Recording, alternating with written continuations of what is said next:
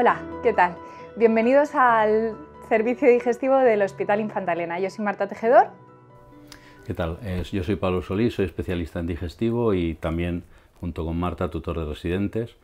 Eh, bueno, eh, en primer lugar, antes de, antes de nada, puesto que este vídeo está dirigido a gente que, acaba de acabar el MIR y, y, que está pues empezando a plantearse qué, qué especialidad coger, pues lo primero es daros la enhorabuena por, por lograr pasar este año con, eh, con éxito y, nada, ahora os vamos a explicar un poco en qué consiste la especialidad de digestivo en el Hospital eh, Infanta Elena. Eh, aparato digestivo es una especialidad médica que es muy amplia, tremendamente variada y también muy compleja. Aparte de tener un conocimiento profundo sobre las enfermedades del tubo digestivo, pues también estudiamos el hígado, el páncreas y la vía biliar. Además de eso, casi todos los digestivos eh, suelen intentar o suelen eh, subespecializar en otras partes de, la especialidad. Por ejemplo, eh, una parte sería la gastroenterología, dentro de la cual, pues sobre todo, lo que más se estudia es la enfermedad inflamatoria intestinal, que hay gente que solo se dedica a esa parte, pero también pues hay otras partes como la pancreatología, las enfermedades del páncreas o los tumores digestivos. Y por otro lado está la endoscopia avanzada con 20.000 eh, técnicas, incluyendo la CPR, coendoscopia, disección endoscópica y finalmente el estudio de las enfermedades del hígado, que sería eh, la hepatología. Lo que más nos gusta a nosotros, ¿verdad? sí. Sí, bueno, desde un punto de vista clínico, eh, aparato digestivo o medicina del aparato digestivo es una especialidad que es muy afín a la medicina interna, pero que además de, ser parecida a la medicina interna y ser muy clínica, pues también tiene múltiples técnicas eh, que son tanto diagnósticas como terapéuticas y que son propias, ¿no? como ya hemos hablado de las, de las distintas formas de endoscopia digestiva, la ecografía abdominal, pruebas funcionales como la manometría, pHmetría y también elastografía, entre otras muchas. Bueno, nuestro hospital, os queríamos comentar también un poquito.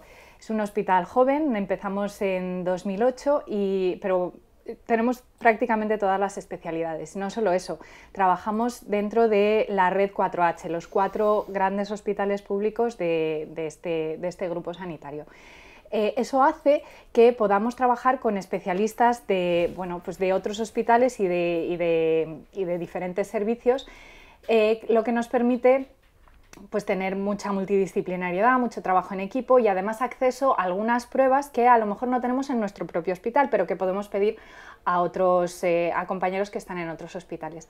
En cualquier caso, eh, y ya hablando en concreto de nuestro servicio de digestivo, pues ¿qué os voy a decir? Que esto es la pera, que somos los X-Men del digestivo, de verdad, somos cada uno de nosotros, de nuestro equipo, tiene su superpoder y todos juntos somos imbatibles. Sabéis dónde queréis estar, sabéis dónde queréis hacer la residencia, aquí con nosotros, porque os vamos a enseñar vuestro propio superpoder y os vamos a ayudar a explotarlo.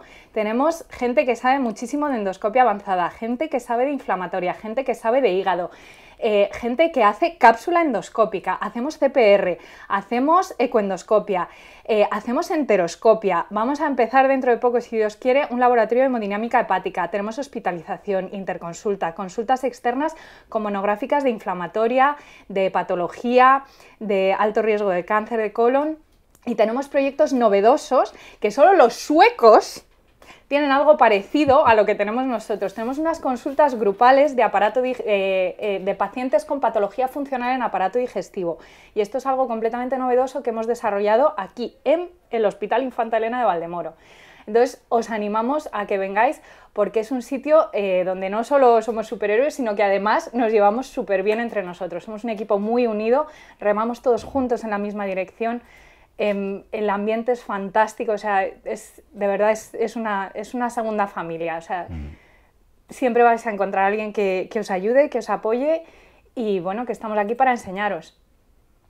Bueno, muy bien, pues con respecto a cómo se organiza la residencia, durante el primer año, pues el residente, el R1, comienza a rotar por distintas especialidades que son, pues por uno u otro motivo, eh, están muy relacionados con el aparato digestivo. De hecho, los siete primeros meses se rota en medicina interna, eh, los seis primeros y luego el séptimo es en la sección de infecciosas.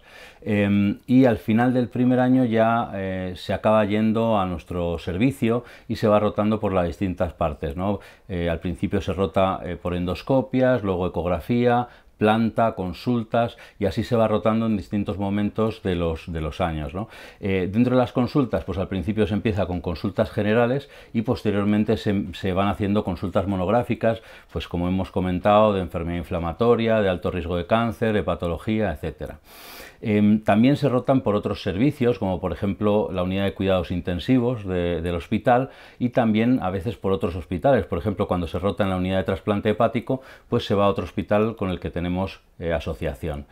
Eh, también el último año, y esto es una cosa que, creo que es importante, aunque se suele hacer, pero bueno, en este hospital eh, el último año hay una rotación, un periodo de rotación libre que es relativamente largo y en el cual el residente, cuando crea que le ha faltado algo por completar su formación o cuando quiera super especializarse en algo o crea que quiere profundizar por otro motivo, pues puede rotar en cualquier centro nacional o internacional y nosotros le ayudaremos a conseguir esa rotación. El punto de vista de las guardias, pues las guardias se hacen unas 4 o 5 al mes y al principio son fundamentalmente eh, unas guardias de urgencias, pero ya posteriormente se pasa a guardias de planta de medicina interna y guardias de endoscopias. También a partir de, R, de R2, cuando el residente esté rotando por eh, las guardias de medicina interna, si eh, hay alguna endoscopia urgente y el endoscopista tiene que ir al hospital, pues se intentará que el residente, aunque no esté de guardia de endoscopias, también vaya eh, a, realizar la endoscopia o ayudar. Em, en cuanto a, bueno, ya veis que estamos muy comprometidos con la docencia. Estamos, bueno, pues tanto Pablo como yo, que somos los tutores de residentes, tenemos experiencia en, docencia tanto de pregrado como de posgrado. Eh, vuelvo a insistir, estamos aquí para vosotros, para enseñaros, para ayudaros. Eh, muy comprometidos con la docencia, no solo nosotros, sino todo el servicio. Tenemos eh, dos sesiones formativas a la semana para repasar eh, las áreas de interés, para resolver casos clínicos, un comité de tumores multidisciplinares semanal y por supuesto os vamos a animar a que eh, os impliquéis en, todo el tema de la investigación. ¿vale? Esto es un campo que estamos eh, trabajando activamente, siempre estamos metiéndonos en algún jardín y entonces aquí vais a estar con nosotros. Se intentará que, el residente pues, participe en estudios, en publicaciones. También creo que es importante pues, eh, el decir que eh, no creamos un programa formativo y ya está, sino que intentaremos eh, periódicamente, con relativa frecuencia, irlo revisando, irlo mejorando constantemente para que no, no se quede como un poco estancada la formación. También este centro es un hospital universitario y, por tanto, pues bueno, yo creo que eso también es un apoyo a nivel de, de docencia y en nuestro servicio hay varias personas que tienen la tesis doctoral ya, leída y hay gente que está a punto de leerla. ¿no? Entonces intentaremos que durante la residencia el, residente acabe eh, con, la tesis hecha o que la finalice al poco de acabar la residencia. Eh, también eh, se apoyará mucho al residente, bueno, de hecho se hará participar en cursos y en congresos, que eso dependerá un poco del año de residencia en el que se encuentre el, el residente y también un poco de los intereses que vaya desarrollando durante este tiempo. ¿no? Bueno, para concluir ya, ¿qué deciros? Los puntos fuertes de nuestro hospital. Somos un hospital pequeñito, es verdad, pero eso tiene una ventaja y es que somos una familia. Aquí estamos todos juntos y en el mismo barco y estamos mm. aquí para los pacientes. Entonces, no veáis eso necesariamente como algo malo porque tiene muchas cosas buenas. Em, es, aquí hacemos muchísimas batallas. Desde luego vais a ver todas las cosas que necesitáis saber para hacer un digestivo luego que pueda funcionar en absolutamente cualquier sitio en el que podáis acabar trabajando. Vais a tener mucha exposición a la patología más frecuente eh, de nuestra enfermedad y os vamos a formar muy bien. yo con respecto a los puntos débiles de este hospital, yo pondría eh, como, como primera cosa que la actividad eh, en este hospital es altísima, pero eso al mismo tiempo pues se puede ver como un beneficio, puesto que no es un hospital que tenga muy, al ser pequeño, pues que tenga muy poca actividad y, se hagan pocas endoscopias, sino que aquí la actividad de endoscopias es eh, muy muy alta, eh, en la planta, el número de pacientes que vais a ver en consultas, yo creo que todo, todo eso realmente, aunque es un punto negativo, lógicamente pues tienes que trabajar más, pero a, nivel de, de, la formación, en ese periodo formativo que es tan importante para desarrollarte y para aprender, pues os va a ser en cierto modo positivo.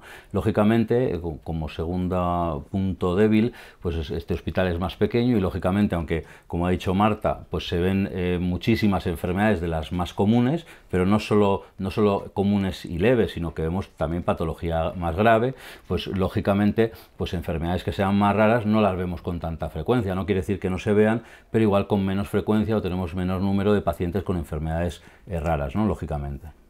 Así que nada, ya sabéis, os esperamos. Muchas gracias. Sí, os animamos a que forméis parte de, nuestro equipo y que, os unáis a nosotros. ¿Mm? Gracias.